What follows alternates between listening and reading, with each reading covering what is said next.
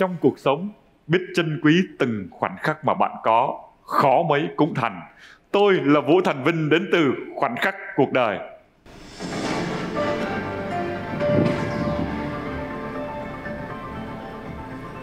Yêu thích và đam mê lịch sử và những giá trị của cha ông và dân tộc. Anh đã có gần 15 năm nghiên cứu về những cái đồ cổ vật. Và ngày hôm nay anh đã đến đây để mong muốn là qua cái công việc yêu thích và nghiên cứu của mình cũng cho lớp trẻ hiểu được những giá trị mà của cha ông để lại. Và không biết rằng anh sẽ mang đến khoảnh khắc gì. Xin mời anh. Dạ thưa đến với chương trình thì em mong muốn mang đến một cái giá trị về văn hóa truyền thống để lên thế hệ trẻ hiểu hơn về lịch sử hiểu hơn về cội nguồn dân tộc của người việt ta. Và ngay bây giờ chúng ta cùng chào đón nhà nghiên cứu cổ vật Trọng Hiếu. Chương trình Khoảnh khắc cuộc đời do Đài truyền hình Thành phố Hồ Chí Minh phối hợp cùng công ty Truyền thông Khang thực hiện với sự tài trợ của Thời Trang Kim.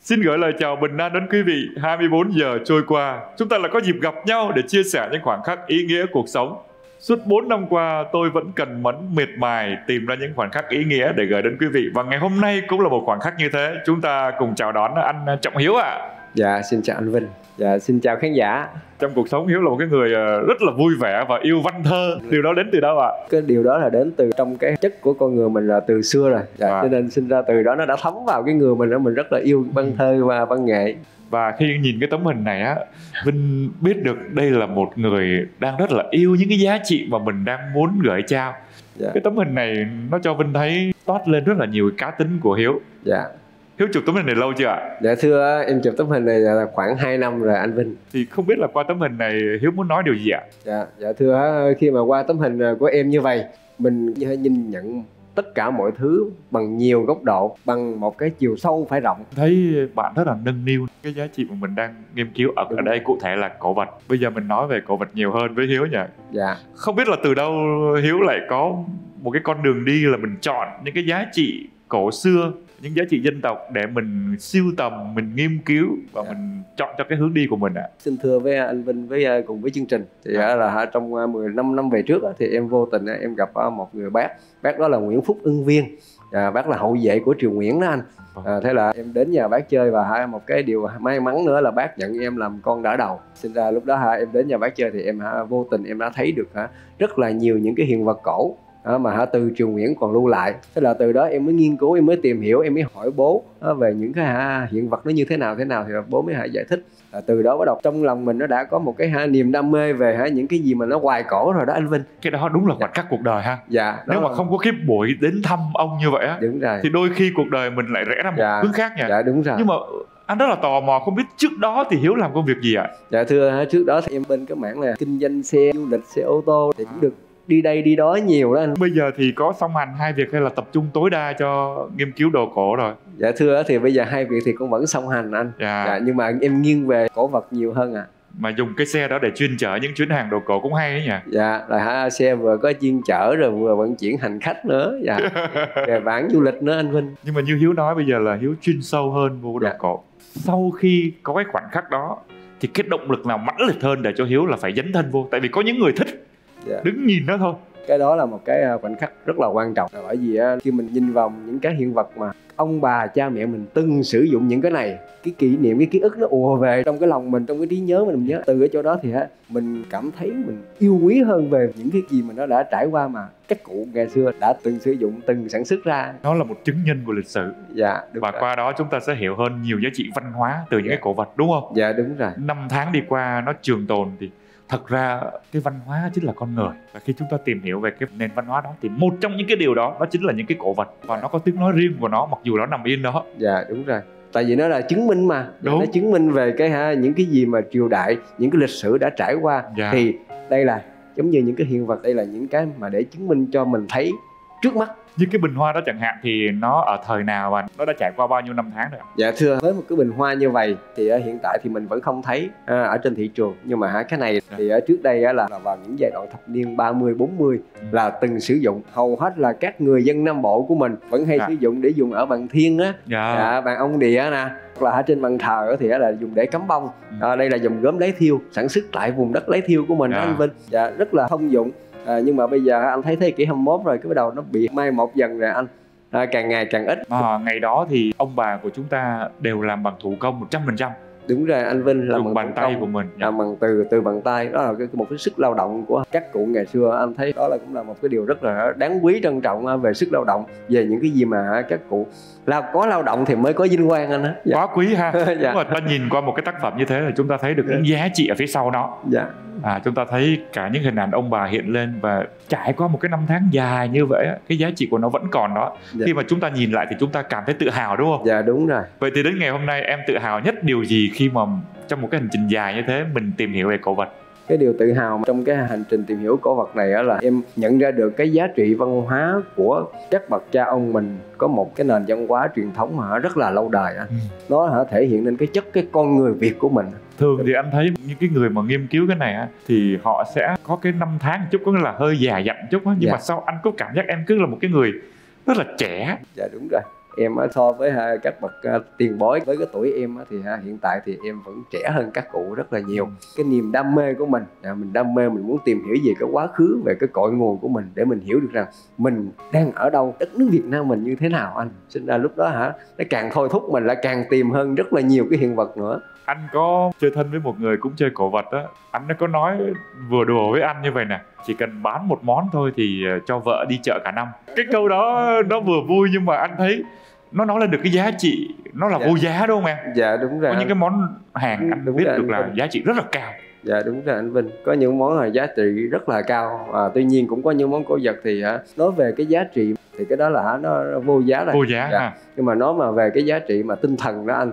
Thì Ừ. nó càng gấp hàng trăm hàng ngàn lần về cái giá trị giá cả nữa anh Vinh Ừ. Dạ. anh rất là thích em nói về giá trị tinh thần. Dạ, tại bởi vì đó là một truyền thống lịch sử mà anh. Ừ. dạ, Trải qua bao nhiêu năm rồi mà chỉ có những cái hiện vật còn lưu lại thì mình mới còn nhớ lại về cái quá khứ về cái lịch sử cái văn hóa cái truyền thống mình mới còn nữa. Còn nếu mà đã, đã mai một đã mất hết rồi thì mình chỉ nhớ nhìn thấy những cái hiện tại như vậy thôi anh.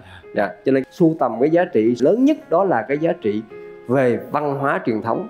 Trong một cái hành trình à, nghiên cứu siêu tầm và đi tìm tòi như vậy thì cái món đồ nào đến giờ phút này với em nó gây nhiều ấn tượng mà em nhớ nhất không? Dạ thưa có chứ. Em hãy Dạ. nói một hai món giá trị mà nó giống như tinh thần của em. Có nhiều người là thấy còn hơn hơn, hơn thấy vàng đó đó. Dạ đúng rồi anh. Ví dụ như ở đây á, thì có những cái hiện vật như vậy em mới giới thiệu cái này. À, ở đây á à, anh sẽ thấy à một cái lọ thủy trì à, dòng gốm chu đậu. À, nhưng mà anh thấy cái lọ thủy trì này với cái tuổi đời của nó là thế kỷ 14 15 tới nay đó anh. Là cách nay 600 năm à, đây là một cái hồn dân tộc nè anh. À, đây là chất đất đất của dân tộc mình. Gốm chu đậu được ha, sản xuất ở ngoài miền Bắc đó anh. Đó thì anh thấy trải qua hả, năm 600 năm rồi. Đến nay là thế kỷ 21 rồi. Đây là thế kỷ 14 15 đã có những cái dòng gốm như vậy rồi. Anh thấy được xuất khẩu ra nước ngoài nữa đó anh Vinh. Dạ thưa đây là một cái chiến ngày xưa các bà các cụ là hay gọi là đồ kiểu nè anh Vinh. Ừ. à nó sẽ khác những cái dòng sản phẩm như chén vậy. kiểu đó. Dạ đúng rồi. Chén kiểu là chỉ dành khi nào họ đám tiệc nè cúng dỗ quải nè. Anh thì lúc đó bắt đầu mới sử dụng ra những cái này. Những người nhà giàu hào phú ngày xưa của đất Nam Kỳ của dân tộc Việt mình à, các quan lại ngày xưa đó anh. Là những người mà có tiền à, thì mới hả sử dụng những cái hiện vật như vậy còn những cái hiện hiện vật như vậy thì rất, rất là bình dân dân chúng mình mọi người ai cũng có thể sử dụng được hết anh Thật ra rõ ràng là mới có ba món Dạ. đồ thôi mà chúng ta thấy các cái câu chuyện ở phía sau nó đã khác nhau Nó đã khác rồi, nhau rồi. và từ đó thì nó hiện lên một cái đời sống lịch sử xa xưa và nhiều món hàng nó còn nói về không chỉ Việt Nam mà nói về lịch sử của thế giới đó đúng không? dạ đúng rồi Rất là quý. Em có sưu tầm một cái món hàng mà nó nằm ở cấp độ mà thế giới không? Dạ thưa thường thì về đồ gốm đó anh em thích sưu tầm về cái dòng gốm hơn bởi vì gốm thì nó sẽ lâu đời hơn các cổ vật khác tại vì ờ, con người mình phát hiện ra gốm là cách đây là khoảng hai ba chục ngàn năm về trước rồi anh Em có chia sẻ từ ban đầu là cái mục đích lớn nhất ngoài việc mà nâng niu những cái giá trị hồn cốt của dân tộc á thì em muốn cái điều đó đến cho các bạn trẻ nữa. Em hãy nói sâu hơn về điều này ạ. Dạ thì em mong muốn ờ, đến với các bạn trẻ đó khi em lưu giữ lại những cái như vậy thì Dạ. em muốn chia sẻ đến các bạn để các bạn hiểu hơn về cái giá trị lịch sử đó là cội nguồn của cái dân tộc ta dạ. nếu mà tìm hiểu sâu hơn thì chúng ta thấy là có khi nói nhiều ngày cũng không hết mỗi một tác phẩm là một giá trị và một dạ. câu chuyện anh có ờ, đi lang thang vô cái facebook của em và anh thấy ở dưới em có ghi là hiếu phố xưa chia sẻ văn hóa kết nối đam mê dạ thưa ờ, trước đây thì em cũng có mở một cái quán cà phê để để trưng về những cái hiện vật cổ xưa như vậy nè anh Vinh à. thì là em đặt là quán cà phê phố xưa ừ. à, rồi từ chỗ đó thì các anh em ở trong giới cổ vật á các nhà sưu tầm cổ vật từ nam tới bắc thì hay gọi em là hiếu phố xưa dạ. Dạ, dạ. bây giờ mình chia sẻ thêm là chia sẻ văn hóa mà kết nối đam mê dạ thưa chia sẻ văn hóa là em mong muốn là từ những cái hiện vật như vậy à, điển hình như vậy nè anh thì để trao đến cho các các anh em cộng đồng các thế hệ trẻ à, những cái giá trị khi đến để tìm hiểu xem coi hả xuất xứ từ đâu để mình hiểu được về cái cái đời, đời sống của cha ông ta đến ngày hôm nay thì à, cái bộ sưu tập của em đương nhiên là nó mỗi ngày mỗi dày và nhiều hơn rồi dạ thì thường á là những cái cổ vật như vậy á người ta sẽ phải trưng bày rất là khoa học để. Dạ. những người mà đến thưởng ngoạn á họ biết được lịch sử và dễ có thể là phân biệt được á. Dạ. thì chắc là em cũng có một cái không gian như vậy hả ngoài. Dạ. quán cà phê mà em vừa chia sẻ dạ thưa em cũng có một cái không gian ờ, nhỏ nhỏ vừa vừa thôi anh Vinh dạ à. chứ cũng không lớn lắm nhưng mà ha, mình ha, cũng phải bố trí làm sao mà cho nó hợp lý à, để ha, khi mà ha, các uh, anh em bạn bè hoặc là những người thân của mình uh, những nhà sưu tầm uh, đến là lúc đó là sẽ để dễ nhận hơn và dễ tìm hiểu dễ nhìn hơn anh dạ. với công nghệ bây giờ thì anh thấy em chia sẻ rất là nhiều và rất là nhanh dạ. đó là trên cái nền tảng Facebook là mình thích cái gì đó Đúng trong rồi. một cái dịp nào đó Tết lễ thì mình đều có một cái món hàng nó tương xứng trong không gian đó Đúng rồi. như là gần Tết anh thấy em chia sẻ một cái đĩa mà nó có hoa mai và rất rồi. nhiều người vô đó chia sẻ thích thú về cái điều đó dạ, ờ, cái công nghệ nó cũng giúp cho mọi thứ được gắn kết xa và bay hơn đúng không em? Dạ đúng rồi anh. Nhờ vào công nghệ thì lúc đó dễ chia sẻ hơn và dễ gắn kết với cộng đồng nhiều hơn còn ngày xưa thì không có công nghệ thì lúc đó hả bây giờ em chỉ biết em tầm được em cảm thấy rất là thú vị nhưng mà em không thể chia sẻ cùng với anh chia sẻ cùng với cộng đồng nhưng có một điều mà những người chơi cổ vật thường mà ngồi nhìn sờ ngửi và chạm thấy nó vẫn thích hơn dạ đúng là phải thực tế thì thực tế phải, đúng không? là sẽ cảm thấy đúng không? phải được sướng. sờ chạm đến nó rồi, Ờ, em thì ngày hôm nay thì ngoài việc chơi thì anh nghĩ cái điều mà trao đổi với nhau nó cũng rất là quan trọng đúng không? Thí dụ có món cờ này em muốn mua dạ, hay là muốn bán đi? Thực dạ. tế nó có gọi tên như vậy không? Vẫn là mua bán đồ cổ đúng không em? Dạ thưa gọi là giao lưu anh. À, à giao lưu có là trao đổi. Anh vinh có một cái món em có một cái món. Thì thế là hai bên anh em mình cùng trao đổi cái món đó với nhau. Nhưng mà đương nhiên dạ. ở một mức độ nào đó nó vẫn có những cái giá trị nhất định có của nó về hiện kim chứ nhỉ? Đúng không? Dạ đúng nó vẫn phải được định danh và gọi ra bằng cái tên đúng không? Đúng rồi anh. Thì nó mới biết được là cái món đồ này cái giá trị nó nằm ở phân khúc nào hả? Đúng rồi anh. Và có nhiều món đồ cổ mà anh nghe cái hiện kim của nó anh cũng giật mình dạ đúng rồi nha nhiều món dạ. quý nha thì nó phụ thuộc vào những cái điều gì khi mà món đồ càng quý cái điều đầu tiên là anh sẽ thấy rằng cái nguồn gốc xuất xứ của cái hiện vật nó xuất xứ từ đâu ạ à? dạ. là xuất xứ trong nhà mà của các vị à, quan quyền ha hoặc là trong triều đình à, một cái món đồ này mà để dành cho một cái vị vua nào đó sử dụng anh thì cái giá trị của nó sẽ rất là ghê là cái nguồn gốc đó hả dạ đúng rồi cái à. nguồn gốc ai là chủ sở hữu đầu tiên của cái hiện vật mà ai là người mà đặt cái hiện vật này để làm? Ví dụ như vua chúa thì đó là những cái hiện vật rất đó, đó là điều đầu tiên. Còn những yếu tố gì nữa ạ? À? dạ. ví dụ như là yếu tố thời gian. Rồi à, trải qua cái yếu tố thời gian đó là một trong những cái yếu tố mà để anh sưu tầm cổ vật nè. Dạ, nhất dáng nhì gia tam toàn tứ tuổi. À, à, đó là mà bốn cái yếu tố để trong cái việc mà anh tứ với đến tuổi hả? Dạ à. đúng rồi. Cái tuổi cổ vật thì hả anh sẽ xếp hạng thứ tư. Nhất. Dạ nhất cái dáng cái một cái dáng của một cái hiện vật anh cảm thấy nó rất là lạ rất là độc mà anh chưa từng thấy. Có những món anh Vinh sẽ cầm anh Vinh không hiểu rằng cái món này để làm cái gì. Không biết là ngày xưa các cụ làm ra cái món này các tiền bối các tiền nhân nghệ nhân ngày xưa làm ra cái hiện vật này là để sử dụng vào mục đích gì? Có những cái mình cầm lên mình vẫn không biết anh. Bởi vậy mình phải tìm Bắt hiểu đầu ha. lúc đó anh phải tìm hiểu. Tìm hiểu. Dạ. càng tìm hiểu càng thích. Dạ đúng à, rồi anh. đó là ít dáng nè nhìn da. À, có nghĩa là về cái mặt da là giống như là cái men của nó vậy như vậy đó anh. Anh nhìn anh thấy nó phải là trắng như ngọc vậy đó. Rồi về cái dáng độc lạ cái dáng trong cái hiện vật mà anh chưa từng thấy bao giờ. Thì à. đó là một cái yếu tố cũng góp nên cái phần là để anh phải tìm hiểu nhiều anh phải nghiên cứu nhiều. À. và một yếu tố là cái giá trị của nó sẽ cao hơn. Thích dáng nhì da tam. Tam toàn. Toàn. À, có nghĩa là cái hiện vật mà anh hả sưu tầm là anh sẽ thấy cái hiện vật nó sẽ được lành nguyên. Về cái chất lượng của nó đừng có bị bể vỡ nhiều quá.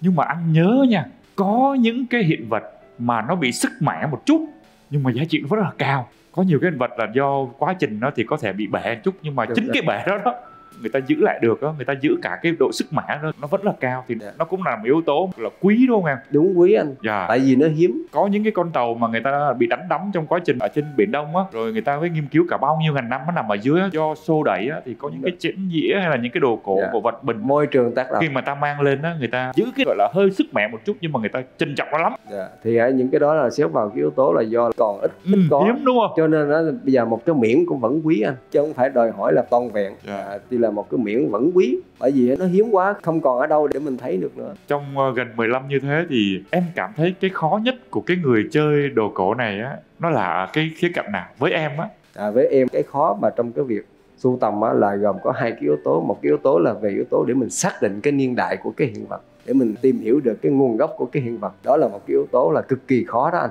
Tại mình đi tìm ngược về quá khứ thì nó sẽ khó hơn là mình tìm ngay cái hiện tại này. Đúng rồi. Và cái yếu tố thứ hai là về tài chính. Anh Vinh phải bỏ công bỏ sức. Cái giá trị về tiền mình bỏ ra thì không nhiều nhưng mà cái công sức mà để anh tìm tòi anh tìm hiểu anh truy tìm để anh mang được cái hiện vật tầm được cái hiện vật về thì đó là một cái công sức đòi hỏi phải nhiều thời gian. Ờ, đó cũng là giá trị ngày hôm nay em muốn gửi đến quý vị qua một cái câu chuyện của chúng tôi. Đó là mình yêu thích một cái công việc gì đó nó không chỉ là đơn giản nuôi sống mình không mà đằng sau đó những cái giá trị mà mình mang đến cho cuộc đời cho bản thân mình đó, nó cũng là cái điều mà chúng ta cần suy nghĩ.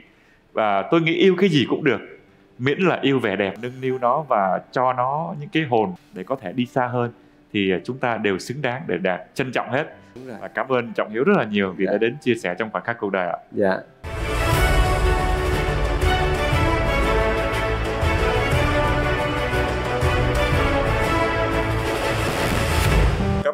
Hiếu rất là nhiều đã đến đây chia sẻ những cái câu chuyện rất là thú vị. Nhưng ở khoảnh khắc cuối này Trọng Hiếu để chạm vào cái mặt cảm xúc của mình. Thì có ba cái nguồn cảm xúc. Thứ nhất là về bản thân.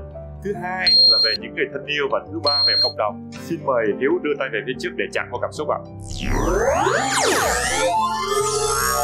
Anh đoán chút được không Hiếu? Dạ dạ được trong ba cái cảm xúc mà em chạm tới anh đoán về phía anh này. Anh nghĩ Hiếu rất là muốn chia sẻ cái niềm đam mê của mình với cộng đồng. Dạ. vậy thì em hãy chia sẻ đi. Dạ, thưa thông qua chương trình thì em muốn à, chia sẻ một cái khoảnh khắc đến với cộng đồng đến với à, thế hệ kế thừa. Là mình luôn luôn gìn giữ những cái giá trị văn hóa truyền thống của cha ông chúng ta đã luôn gìn giữ lịch sử. Đó là những cái điều mà em mong muốn chia sẻ đến với thế hệ sau để mình hiểu về con người của mình hơn, để mình càng yêu quý cái đất nước của Việt Nam chúng ta nhiều hơn. Khi mà chúng ta yêu quý, chúng ta tìm hiểu và chúng ta biết được những giá trị của ông cha ta, thì chúng ta cảm thấy tự hào và chúng ta có quyết tâm hơn để làm cho đất nước của chúng ta trở nên giàu đẹp hơn ạ. Cảm ơn Trọng Hiếu rất là nhiều và chúng tôi cũng không quên cảm ơn quý vị khán giả đã yêu thương khoảnh khắc cuộc đời và khung giờ quen thuộc 22 giờ 45 phút trên HTV9. Đây là khoảnh khắc cuộc đời năm thứ tư và chúng ta có hẹn với nhau 24 giờ tiếp theo. Còn bây giờ chúng ta xin chào và hẹn gặp lại. Chương trình Khoảnh khắc cuộc đời với Đài truyền hình Thành phố Hồ Chí Minh phối hợp cùng công ty Truyền thông Khang thực hiện với sự tài trợ của Thời Trang Kim.